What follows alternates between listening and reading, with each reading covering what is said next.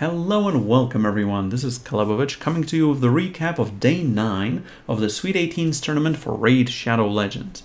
Without further much further ado, let's jump into the uh, feeding trough, uh, sorry, uh, hard 12-3 level and see how Kale is doing with uh, leveling up some food. So Mr. Turnip needs to farm up some things that he can eat. Um, well, that makes him into a cannibal, but he's not. Anyway, uh, yes, I'm grinding food to try to rank up Kale from uh, from 5 stars to 6 stars. And that is usually taking a lot of time.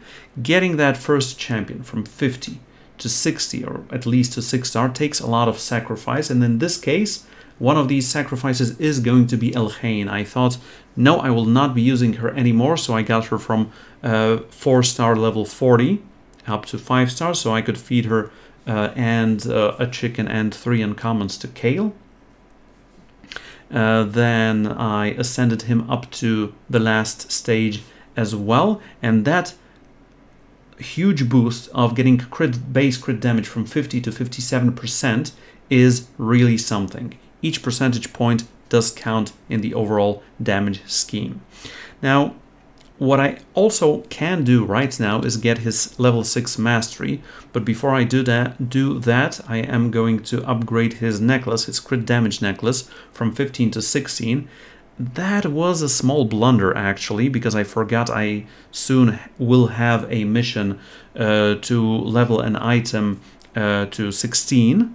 But fortunately, I just came out of it by leveling something else up to 16. Fortunately, I am having good rolls and I do have some silver saved up.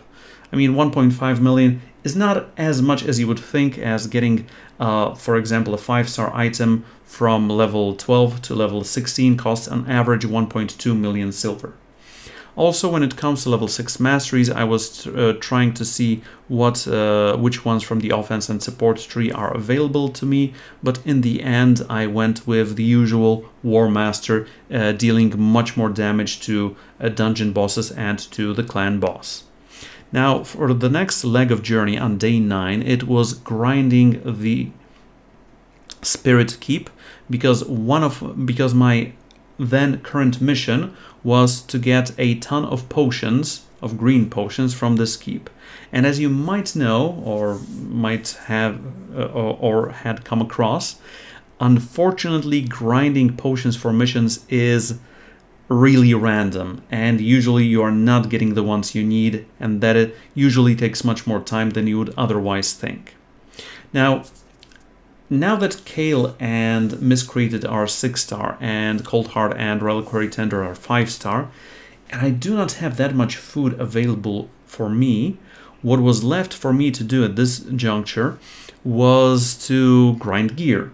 And Dragon Dungeons are where you want to be at because they have the three basic gear types that you need in the early and mid game, and that is accuracy, speed, and lifesteal the biggest dilemma for me was whether to farm stage 11 or stage 12 of the dragon because stage 11 costs 12 energy and stage 12 costs 14 energy. Obviously on stage on the higher stage you have higher percentage chances of getting higher rank gear but is that worth the extra 2 energy? And that was my question and I was pondering it throughout the stream. Also, uh, there is a fact of how much real time does it take.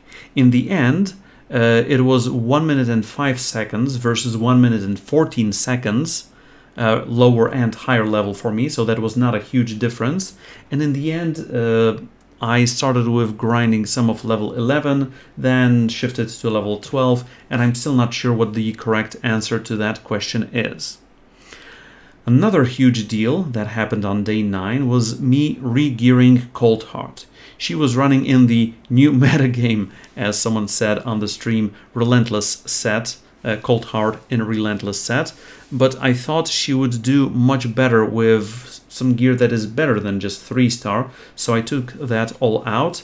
Fortunately, I did have enough more lifesteal gear to equip her with, and I combined that with uh, with a couple of other things. And now you will see uh, quietly uh, a bit sped up but the process of regearing Cold Heart. So me looking through all the available options uh, attack chest plate etc so yeah let's remove all these items. 10k a piece sure I can still do it.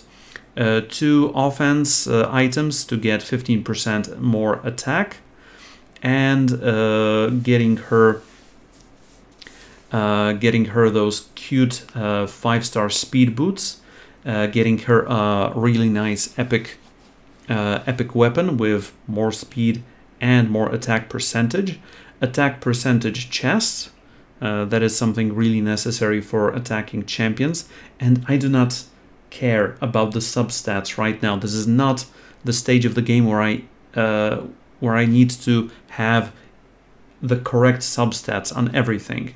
I need to get her crit rate up to up to where it needs to be. And right here I also need to sell some items to, to level her up further. Um, uh, but yes, all of that needs to be happening. Uh, just got some more silver so I can get her uh, her weapon up to 12 as well. And there you go. This is going to be the final iteration, uh, current iteration of level 50 Cold Heart. Uh, 2k attack, 141 speed, 81% uh, crit rate, 72% crit damage, that is on the lower side, almost no accuracy for her Heart Seeker, but that is what I... I mean, come on, guys, this is, this is day 9, this is not that deep into the tournament still. Anyway, that was a lot of things happening, but that this is going to be it for the recap of day 9 for the Raid Shadow Legends Sweet 18s tournament. And remember, if you are enjoying the show and this tournament and my talk through of this tournament and my activities uh, in it, remember to subscribe the channel and thank you.